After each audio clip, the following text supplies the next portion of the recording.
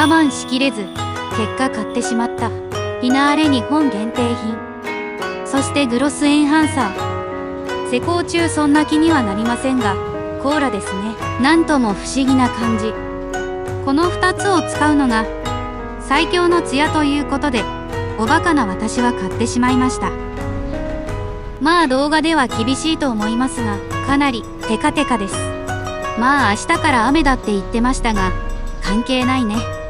洗車好きとしては雨が降るから洗車するんですがそもそも思考が変態なんでしょうね。皆様もこの2種類使ってみては非常に満足なツヤ感です。